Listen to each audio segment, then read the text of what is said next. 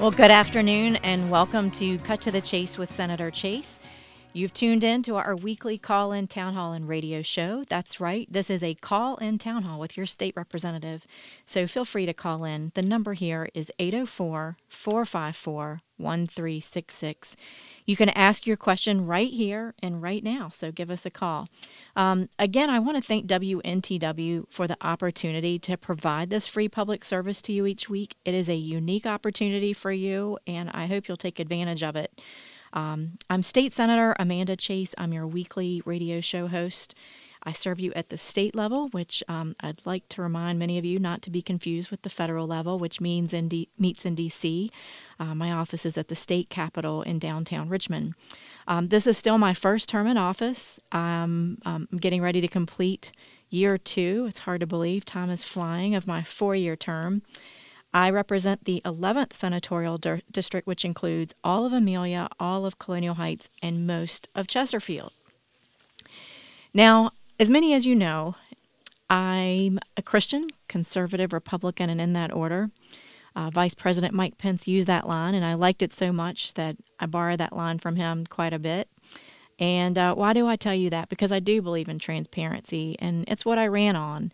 And um, I ran on term limiting career politicians and returning the government back to the people. It's why I do cut to the chase with Senator Chase, because I feel like it's important to be transparent and approachable um, and accessible. And, and that's my goal as, as your representative. I'm not paid to do this show. I do it because I think it's important to stay connected to the people that I serve. And, um, you know, since being elected in 2015, I pushed for greater transparency in the General Assembly. Uh, legislation that returns the power back to the people. Uh, one of those examples, if you remember, was restoring reciprocity of gun rights and holding Dominion accountable for coal ash cleanup to ensure we're good stewards of the James River. Um, in the Senate, uh, we each have committee assignments, and um, committee work is where most of the work is done. Most of the time, what you all see on, on the screen or TV is whenever we're voting on the floor of the Senate, and by that point, most of the work has been done. Uh, one of the things that the Transparency Caucus that I co founded um, has allowed for the first time ever this coming session we will be down you can we're streaming those uh, live committee meetings to so you can access that at home. And um, you know we didn't even have to pass legislation to do that.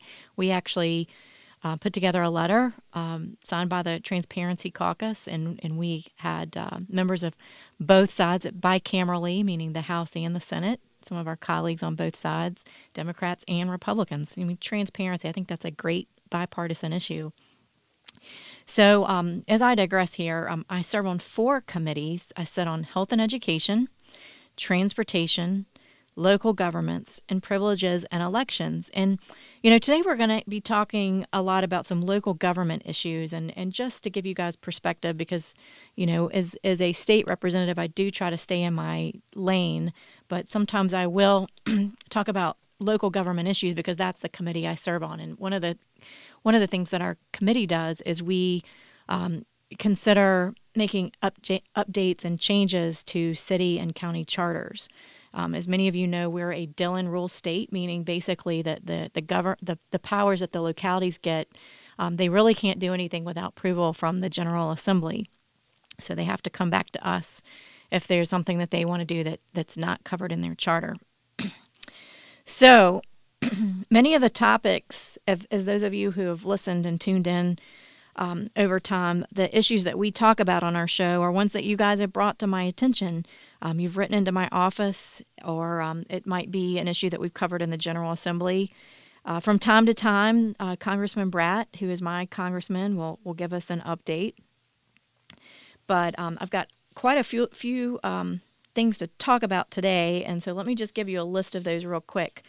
Um, we're going to be talking about some Chesterfield issues, as I mentioned er- earlier today.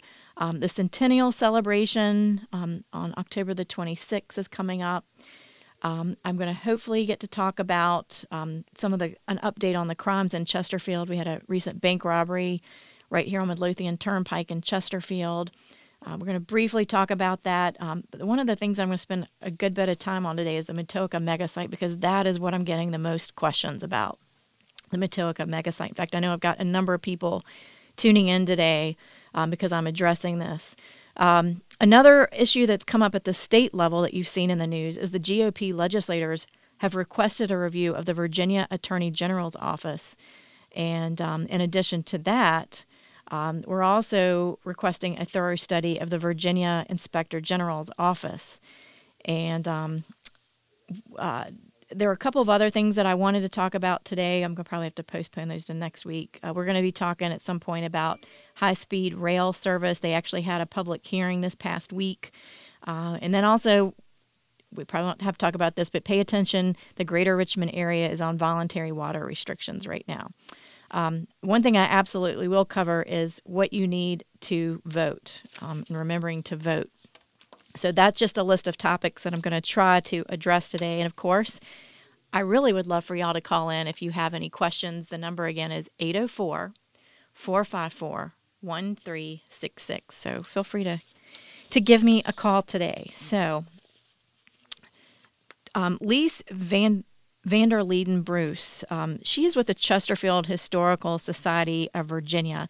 She's also the chairman of the library committee, and um, they are getting ready. Chesterfield County is getting ready to celebrate its centennial celebration of the Chesterfield Courthouse, which is interesting.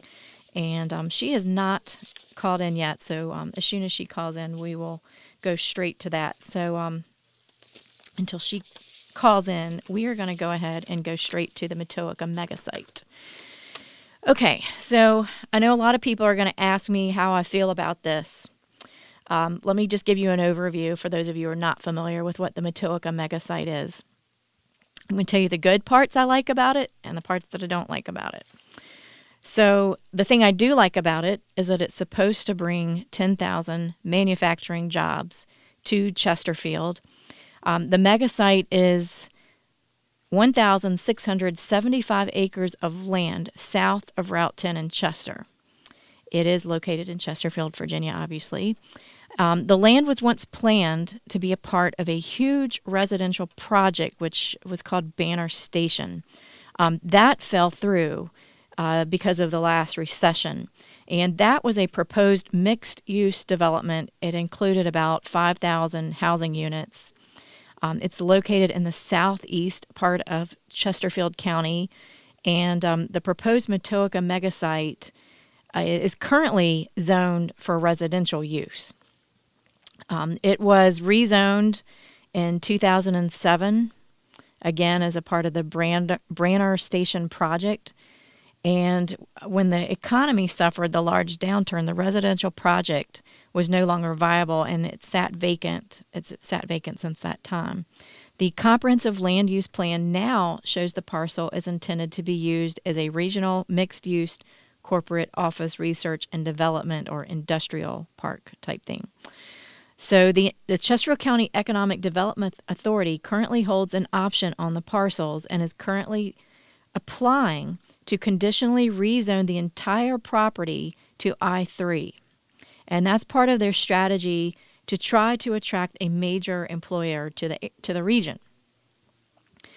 So the major employer is currently targeted by EDA, which is stands for the Economic Development Authority, um, require a site within a convenient drive of a number one, well educated and prepared workforce. It has to be higher education facilities and an international airport that's served by a highway and a major North American Railroad.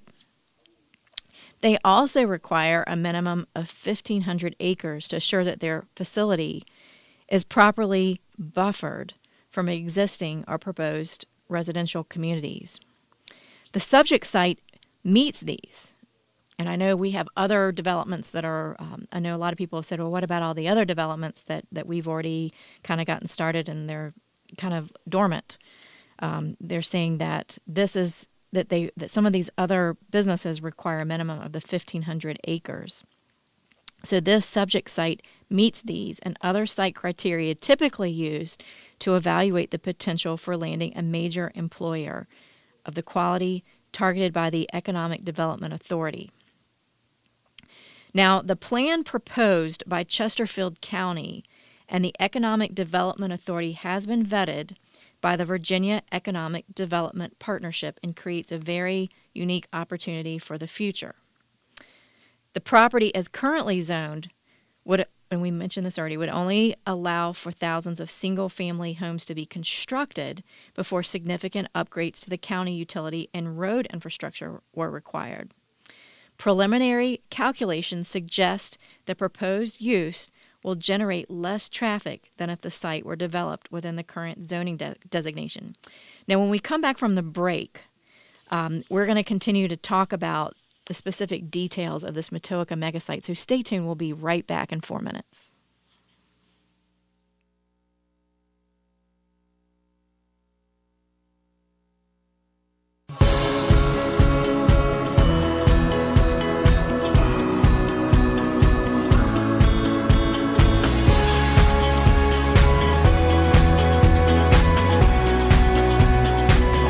Beat the heat before the heat beats you. Call Daniels Heating and Refrigeration now at 804 379 1155 for your free quote. Summer heat is rolling in, and Daniels Heating and Refrigeration is offering a free Wi Fi thermostat with any system replacement. Extend the life of your HVAC system. Save energy with a low cost maintenance agreement. Call Daniels Heating and Refrigeration now at 804 379 1155. That's 804 379 1155. The Chesterfield County Colonial Heights Crime Solvers program wants to help law enforcement identify a shoplifter. On at least four separate occasions between August 11th and September 14th, a male suspect stole flat screen televisions from the Target in Chester. In each case, the suspect loaded a television onto a shopping cart and walked out of the store, bypassing the registers. The suspect is a white male. He has a bald head and a mustache goatee on his face. In at least one of the thefts, he was accompanied by a white female and a small child. Well, you can see pictures of the suspect and his car at crimesolvers.net or on Facebook at crimesolverscch. If you can identify him, or if you have information about any unsolved crime in or fugitive wanted by Chesterfield or Colonial Heights, submit a tip through the Crime Solvers hotline 748-0660 or through the new P3 app. Either way, you will remain anonymous, and if your tip helps, you could receive a cash reward. Like us on Facebook, subscribe to our YouTube channel, and take the time to solve the crime. Attention! Sorry I'm talking a little loud because I want to reach people with a hearing problem. Do you want to hear better for just $299? Yes, not thousands, but for $299, you can hear all the sounds you've been missing for years. Hearing Help Express has been helping people hear better, selling top quality hearing aids for over 30 years. Now's your best chance to hear better with hearing aids for only $299 plus a free 45 day home trial offer, and you don't even need to leave your home or get a hearing test. Call now to start your risk free 45 day home trial offer. Call 888 451 2042. 888 451 2042 for free hearing help consultation. Learn how Hearing Help Express can improve the quality of your life. Visit us online now at hearinghelp.com or call 888 451 2042. 888 451 2042 two. Before a trip, you program your destination into the GPS. You need the best directions to get where you want to be. You will arrive at your retirement in eight It's the same for retirement. You need a voice to guide you. In Richmond, that voice is Isaac Wright. Join him every Saturday at 3 and Sunday at noon on WNTW 820 The Answer. Isaac's experience can help your retirement journey feel like a drive down easy street. Take the first step by tuning in Saturdays at 3 and Sundays at noon for Retire Right with Isaac Wright. arriving at your retirement. Welcome back to Cut to the Chase with State Senator Amanda Chase. The number here to call in is 804 454 1366. Um, in the first segment, we were talking about the Matoaca mega site. And the question really is should this land be rezoned to attract some type of manufacturing to the county? Um, I know that the, the the um, Board of Supervisors has had at least four public meetings in September and October, and they're wrapping that up right now. They're um, taking input from constituents that have spoken at those meetings. Um, we're going to come back to this in a minute. I, I've got my first guest that's on today, uh, Lise Vanderleiden Bruce, and um, she is with the Chesterfield County Historical Society of Virginia. She's also the Library Committee Chair from 2004 to 2016. And um, I'm really excited to have her on today. Um, just some interesting tidbits about her is that during the early 1970s, she lived in Europe working as an interpreter at the Parliament of the European Union in Luxembourg. Um, in marketing at Max Factor and Company in Paris, and in London as director of Minifest 73, which was the first international mini computer exhibition in Great Britain. Um, Lise relocated to Chesterfield in 1996. She's volunteered since 1998 for the Chesterfield Historical Society, and um, it's it's nice to have you on the phone t- today. Good afternoon. Well, thank you so much for joining us. So it sounds like uh, we have something really exciting uh, coming up that's coming up at the end of October. Why don't you tell us a little bit about that? Yes, we do. We have the centennial of the courthouse, or our 1917 courthouse, which is the one that faces Iron Bridge Road with the old fashioned pillars. It's going to celebrate its 100th birthday on the 26th of October, and there's a big event happening that afternoon at around 2 o'clock. It all starts, and I would like to invite all Chesterfield residents to come along. Very good. Now, is there any cost to attend the event? None at all. It is completely free. Now, now I just want to tell my listeners how often is something free, right? Seldom. so this is great. Bring your bring your students to this event. It's a great event. Um, the Chesterfield Historical Society of Virginia is a private nonprofit organization established in 1981, and its mission is to collect, preserve, interpret, and promote the history of Chesterfield County for the education and enjoyment of present and future generations. So, Lise, tell me what what inspired you to um, become active with the Chesterfield County His- Historical Society of Virginia? I was always interested in history. Obviously, I'm not exactly from around here, from overseas, but um, I've always been fascinated by history. And when I moved to Chesterfield County 21 years ago, I discovered that this is really where it all started here in North America as far as English settlement was concerned. So that's what really drew me into the Historical Society. By the way, it's the Chesterfield Historical Society of Virginia for a reason because there is another Chesterfield County in another state. So we have to make sure that they know that this is Chesterfield County in Virginia. That's a very good point. That's a very good point. So, um, so just a reminder to folks: this is Thursday, October the twenty sixth. Yes. It's from 1.30 to four o'clock uh, right there at the old courthouse, which is located on Ironbridge Road in Chesterfield. And um, I understand that um, there's going to be a new permanent exhibit of the original 1749 courthouse bell. Yes, that's a really interesting story because we had our first courthouse here in Chesterfield County in 1749. And at that time, we got a courthouse bell, which of course had to be rung every time court was in session. That courthouse bell was taken down when the 1749 courthouse was demolished, unfortunately, in 1916 to make way for the current 100 year old courthouse in 1917.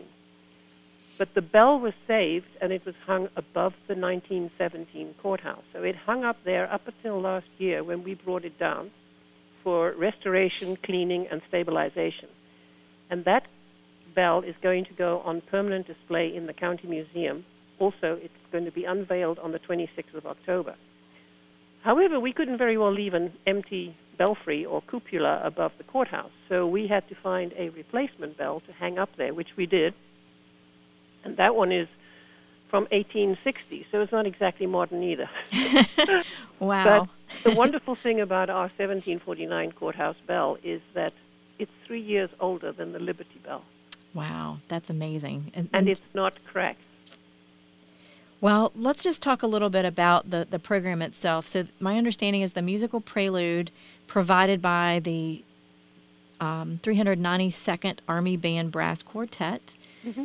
um, from Fort Lee, and um, you're going to be ringing the replacement courthouse bell 100 times. Right. And you're also going to do a, a reenactment. Tell us a little bit about that. Well, the interesting thing about the courthouse is that the cornerstone was laid on the 26th of October, 1917.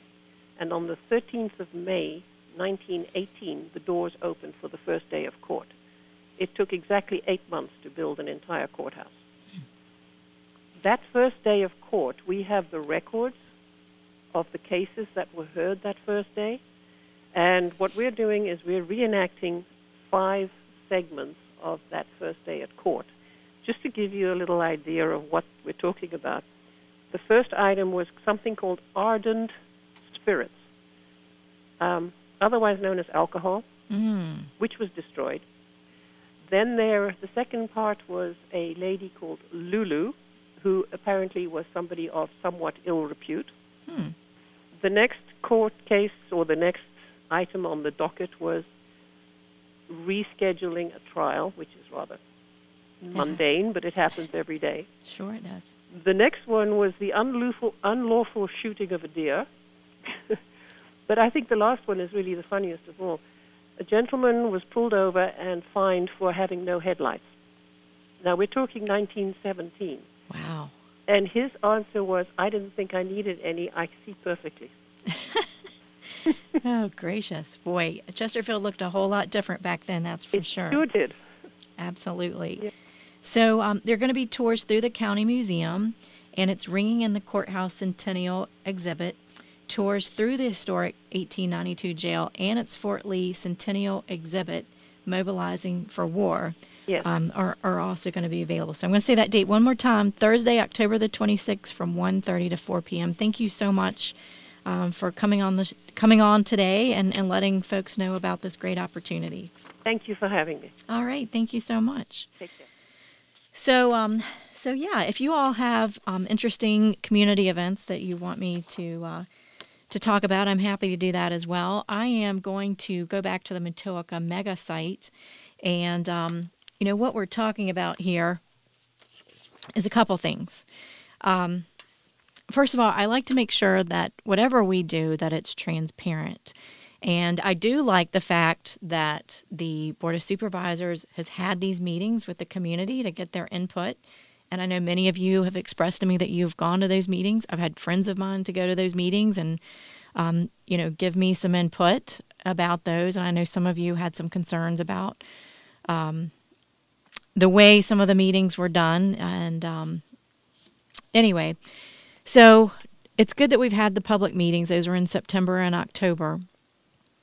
And you're writing your representatives. That's great. So you've got me involved, and I, I'm constantly meeting with those of you. I've, I've met with the Chester Patriots, and I've met with, with other um, groups who've asked me to, to come and speak to them. I'm meeting with another group in the upcoming week, um, and I'm happy to discuss that with you.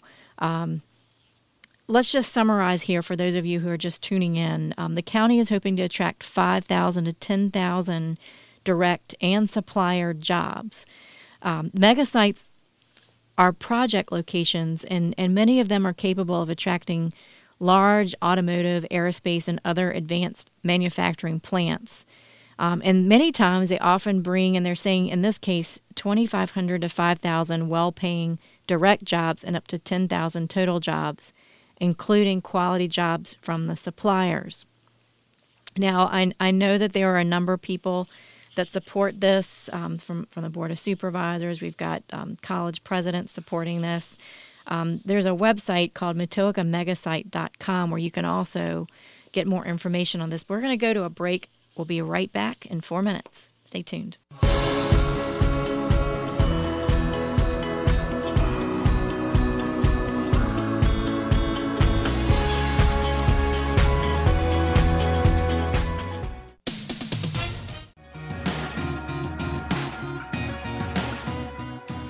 Thanks for tuning in to Cut to the Chase with State Senator Amanda Chase. And I have my first caller of the day, Dave. And Dave, where are you from? Metropolis between Hopewell and Chester. Okay, very good. So, uh, um, well, I don't know if that makes me a constituent of yours, but uh, got a question for you. sure, I will do my best to answer. Okay, as I understand it, you're on the uh, state elections uh, committee. Privileges and elections, correct? Yes. Yeah. Well, I don't know what kind of privileges uh, that entails, but uh, my Um, question is about the elections, Sure. and I'm curious as to what it would take to change Virginia law to uh, uh, a system similar to what they have in Louisiana, in which a statewide election, if no none of the candidates receive 50% of the vote, there's a runoff between the top two. Because uh, we currently have a governor who received less than 50% of the uh, vote, meaning more people voted against him than voted for him, yet he's allowed to act as if he has a mandate. You know that I'll have to look into that. Um, you know, I'm interested in hear what our what our callers might think of that. So the question is, if you have um, a gut, like, like for instance, right now um, we have the governor's race, the lieutenant governor, Right. and attorney general, and they're all running. We have Right. a Republican nominee, we have a Democratic nominee, and in some cases they're they're. I believe there is a third-party candidate for Yes. governor this year. Yes, there is. So uh, very much like last the last governor's election, uh, McAuliffe got 47 percent, and the other two candidates uh, got 53 percent. So that should have been a, in my mind, we should have had a runoff between uh, McAuliffe and uh, forgot his name, Right. Democratic candidate. uh, Right. So just the top two without the third party Right. candidate. The top two. I'll have to take a look Because look I don't think that. we should be governed by somebody with a uh, just a minority vote. You know, I really appreciate you calling in, and um, I will act, I will look into that and see if it's something. You know, maybe you guys can call in and let me know what you think. I think, you know, sometimes we can learn a lot from other states as well. Um, one of the things that has concerned me is that I really feel like we are predominantly a red state. It's typically we have a independent candidate that runs, and for some reason splits the Republican vote. Yeah, exactly. Um, that happened last uh, governor's election. Yes, and I'll tell you the second thing that concerns me is I feel like in many cases Northern Virginia determines pretty much the outcome in presidential and governor's races. And um, Right. I've actually introduced legislation that would recalculate the way that we configure the um, electoral votes. Currently, it's a winner take all system in presidential elections. Right. Uh, Virginia gets 13 electoral votes. Mm -hmm. And so, what would happen in the presidential race is, you know, Pr- President Trump um, or Clinton um, would basically, uh, Clinton got 100% of the votes, whereas they did not capture 100% of the popular vote. Right, right. So it- it would proportional uh, distribution of electoral votes. Yes, and so what we would uh, do which is Mm-hmm. I think would be acceptable. Yeah, and what we would do to make because Southwest Virginia, I mean, really, most of Virginia is not, in my opinion, being represented um, because it's all about the way it currently is calculated. It's all toward the populous centers, and and you know, if you Right, look at a map on election night, it's very clear to see that Right. most all of the, cities state. are blue and all the uh, surrounding areas are red. Yes. So this new congressional district map, basically every congressional district would get an electoral college vote. So it could be split seven six, six seven, you know, and I, I feel like it's more representative and I'm gonna put that bill in again this year. Um, and Okay, hopefully I can talk to people and we're getting more support from that. We've had Republicans and Democrats to put that bill in, interestingly enough, over the course of history, but but um, I would love to figure out a way. I mean, our Constitution prohibits that from doing that at, at a state Right. level. But well, um, for, uh, I for like that idea. Research and uh, let us know if that's feasible. I know there would be additional cost, but that's a uh, that, that, that's another issue. Might cost less in the long run, right? oh, gracious. But, uh, yeah, I'd love to know the answer. If uh, you, you know what would it, what it would take to uh, change the uh, election laws on statewide elections. Okay, well, I appreciate you calling in, Dave, and um, I will take a look at that. We might end up with some interesting legislation, and um, I, I think it's good to compare what other what other states are Yeah. doing. There's So- one other state that does it like that, but I, I you know, memory is, uh, fails me at the moment. Uh, but I know Louisiana does it that way. Okay. But uh, appreciate it. Listen to your show every week and uh, enjoy your comments and your guests. Well, I, I greatly appreciate the feedback. So um, thanks so much for taking time to call in. Very good. So um, that number again, if you're interested in calling in, is 804 454 1366. And um, I'm so glad Dave called in. That's great. Stay tuned. We'll be right back with Cut to the Chase with Senator Chase.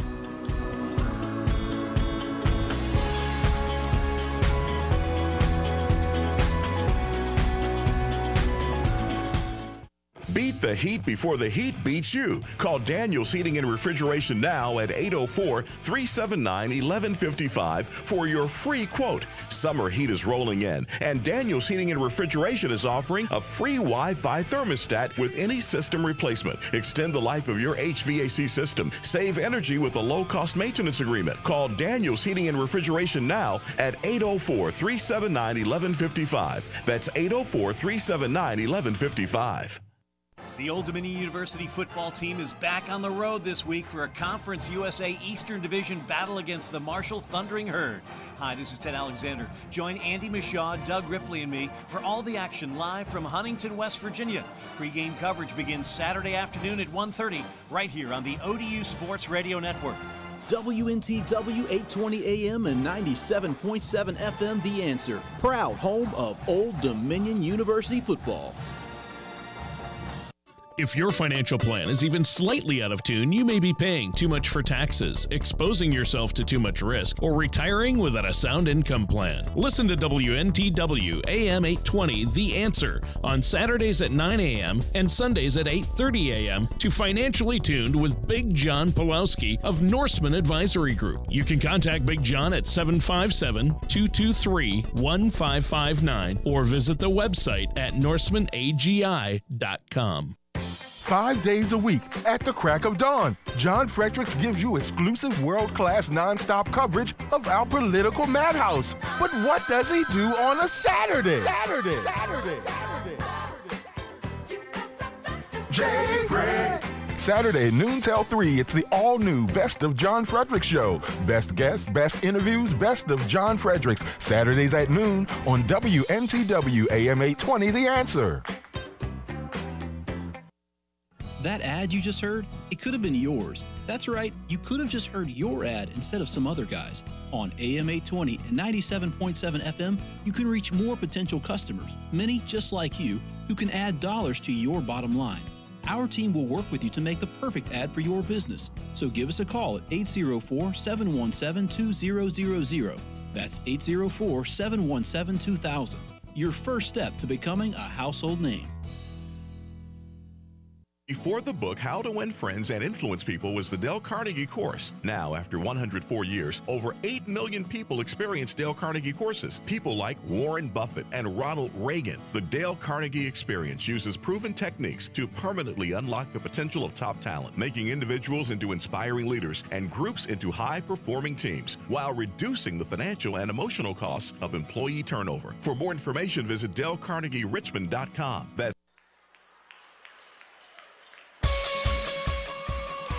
Welcome back to Cut to the Chase with State Senator Amanda Chase, and I have Gary from Short Pump on the phone. Amanda? Yes. Gary, how Yeah. are you? I'm doing fine. Yourself? I'm doing great. Thanks so much calling calling in today. I understand you had a question about population centers. Yes. Uh, I, I heard you last week, and you were talking about the mega site in Chesterfield. Yes. And I'm, I'm I live in Rockville, but it's in the Goochland area. And I've been I live on a very small road that there's a lot of deaths on. I'm disgusted with what's going on in Short Pump. I just came out Broad Street and our government has about 30 people waiting to turn right. And, you know, there's no consideration for the overpopulation. And I'm curious, is there any chance that since Hillary did not take over the New World Order uh, position that she was supposed to have, is there a chance for us to take this country back?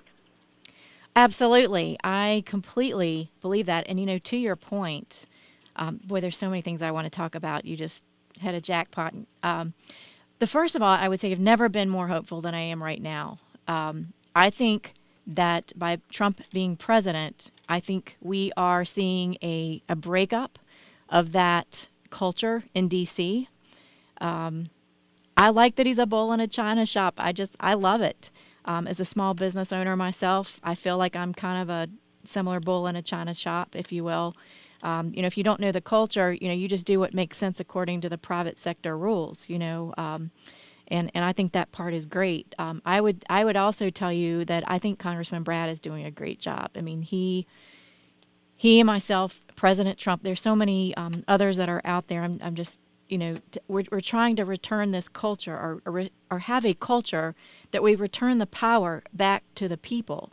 And we're listening, and we're in the, in your communities. Um, I know I've been out every night this week, um, meeting and talking to different groups of people that have concerns and interests. And um, I know this is supposed to be a part time job, but you know, between social media and, and everything else, I feel like it's my job.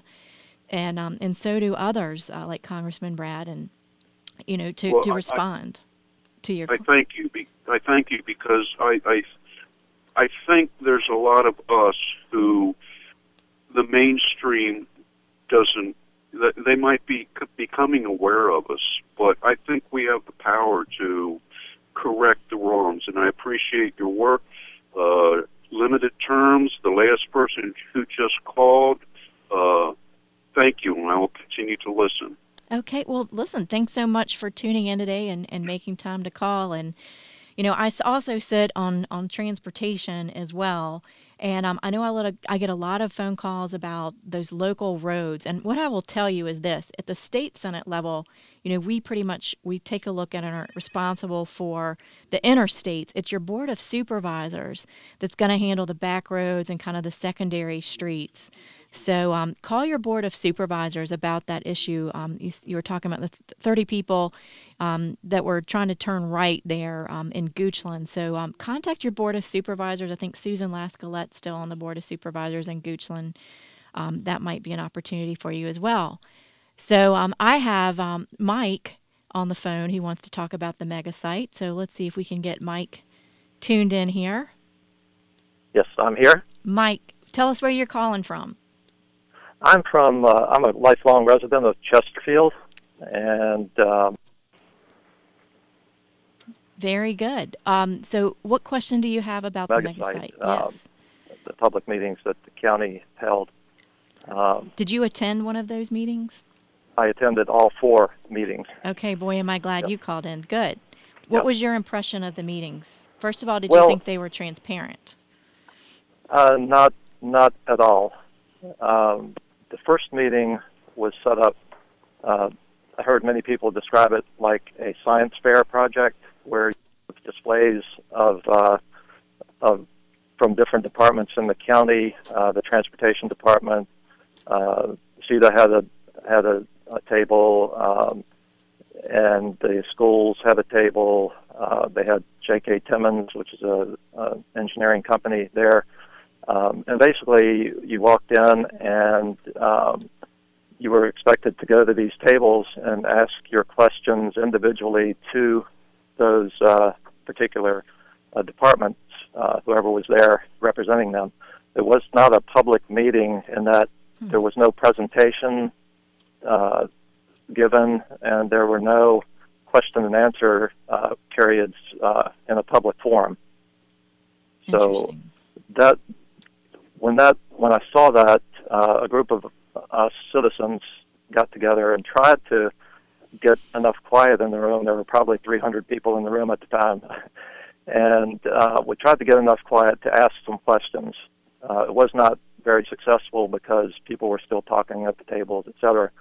But I did. I think after that, the county did get the uh, message that they needed a different uh, forum for presenting this uh, Matoaca mega site.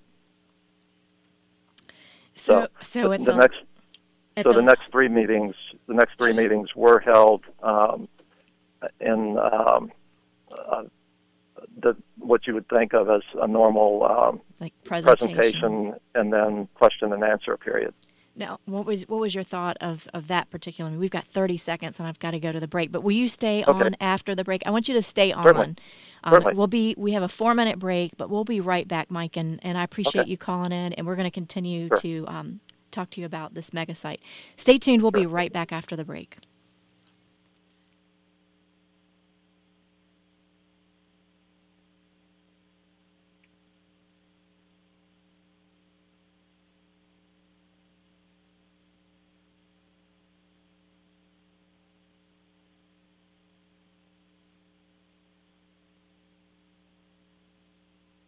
Why do I have a problem with millennials? And I'm sick and tired of hearing the word, and I'm sick and tired of catering to them, and I'm sick and tired of hearing what they think because they don't think. All they do is spew the data that they get off an iPhone or what's been put into their silly little heads in the in the public schools. Tune in to the Savage Nation weekdays here on Richmond's Choice for Conservative Talk Radio. WNTW 820 The Answer.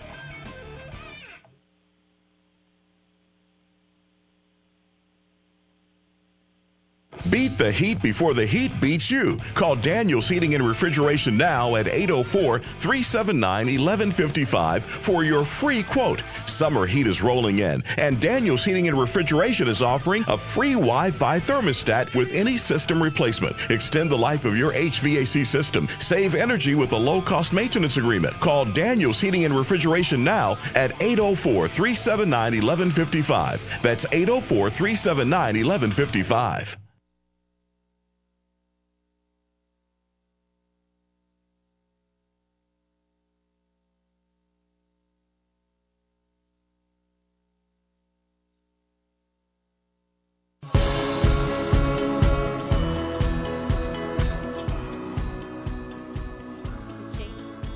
With State Senator Amanda Chase here, and I have Mike. Mike, we've got a few more minutes before the show co- concludes, but I want to get you in here. So, um, okay. so, you, so it sounds like they've changed a couple things to make it better. Did, was that better the last meeting that you had? Was it more transparent when they had the presentation and the question and answer session? Well, it depends on what you mean by transparent. Um, we were certainly allowed to ask questions after the presentation. Um, we had questions about the presentation itself. Uh, some of the, the things presented didn't make a lot of sense. Uh, the questions that were asked, uh, many questions were not, there were no answers. There were, there were answers such as, uh, well, we, we think this will happen, we believe, we hope.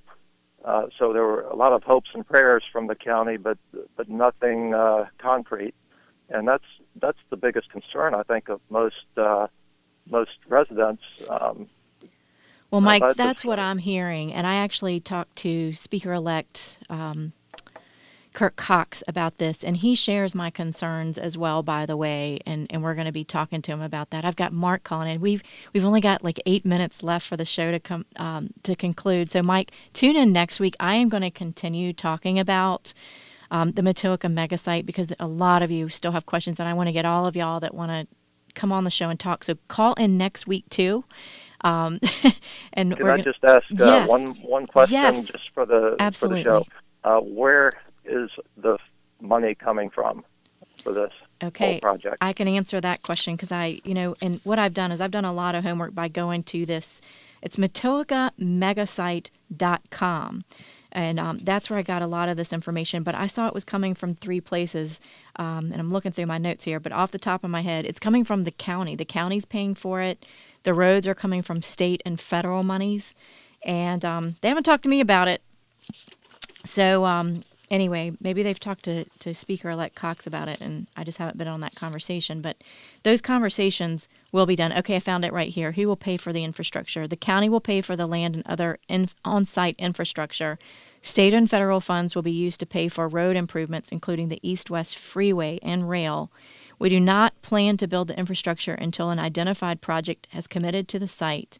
Um, part of the EDA's due diligence was to determine a return on the investment for the project. We can say with confidence that a project with a minimum of $1 billion in investments will create a substantial return to the county. Um, the, uh, the additional benefit of creating jobs, paying good wages in the county also cannot be overstated. So that's the county's response on their uh, MatoacaMegasite.com. So um, thanks, Mike, for calling in. I have Mark. Mark, I have like two minutes left, but I'm going to do my best to answer your question. Mark, are you there? Okay, Mark is gone. Okay. Um, before I leave, I'm going to talk about the Matoaca Mega Site next week. And just so you all know, I have reached out to um, to your local elected uh, members as well as to Dr. Casey, and they are going to come on. Um, their Thursdays have been tied up. Um, it'll probably be November before I get them on, but I, I feel like it's important to get this information to you as soon as I can and um, and, and try to help them to help you just to get the answer to some of these questions. So MatoacaMegasite.com. Go visit that. There's the the slides presented at the October 2nd and October 3rd community meetings are there, and they can be downloaded there. Um, let me just tell you in general where I am. Um, I, I don't want to do anything where we're picking winners and losers. I, I voted against um, giving monies and grants and incentive monies to different businesses. I never got that with my business, and, and you know you just get creative and figure things out, right? Um, I believe in doing something across the board that will help everybody, like my bill that would lower the corporate income tax, the state income tax from six percent to two and a half percent. That helps everybody. When we when we set up these advisory boards and, and we give out grant money to try to help businesses, you're also hurting somebody else that did not get that grant money. I just don't think that's the role of government, just in general. And I'm not specifically talking about this um, Matoaca mega site, but I'm just telling you in general um, that in the state budget every year I pull out Go Virginia money, I pull out economic incentive money, and I vote against it because I, I just I'm pro business, but I just think that's the wrong way to be pro business. I think that's kind of capital cronyism, in my opinion. That's my opinion. Maybe you believe, maybe you agree with me, maybe you don't. That that's okay. I have to remind you of a very important deadline that's coming up, and that is coming up. Uh, when do you vote? Right? When do you vote? When is the election? It is Tuesday, November the 7th. This is very important. This coming Monday, October the 16th, is the deadline to register to vote or to update any existing registration. It's this coming Monday. Um, the deadline to request an absentee ballot to be mailed to you is 5 p.m. on Tuesday, October the 31st, and your request must be received by the registrar by 5 p.m. Um, you can vote, you can apply to vote absentee online but the deadline to request an absentee ballot by appearing in person. And by the way, do this. If you're not going to be in town, go to the registrar's office during their voting during their um, regular business hours. You can vote in person, and um, you know just by I, I don't like all. I mean, my mail, unfortunately, I have to tell you, is it's not been very reliable lately. So I like to just go in person and make sure that everything is taken care of, so it gets done.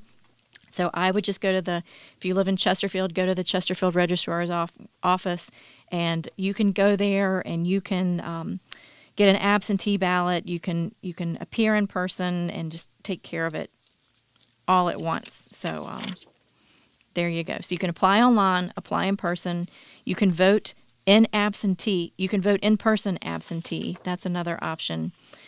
Um, and there is information on the website so if, if you didn't capture this information, and you have questions about what reasons do I have um, that I can vote absentee. There's there's a whole list of those too. Um, one of those being, you know, pregnancy. Um, if you're a student attending college or university that's outside of a locality of residence, that's one. Um, the other thing is if you're working or commuting to and from home for 11 hours or, or more, you can actually um, vote absentee. All right, that's that's the conclusion of my hour here on Cut to the Chase with Senator Chase. Let's call in next Thursday. We're going to have another show on the Matoaca mega site, and um, have your friends call in. We'll have a whole line of you. Um, we'll listen to all your concerns, and, and I will give that information to the Board of Supervisors. Thanks for tuning in today on Cut to the Chase with Senator Chase. With Senator Chase. With Senator Chase. With Senator Chase.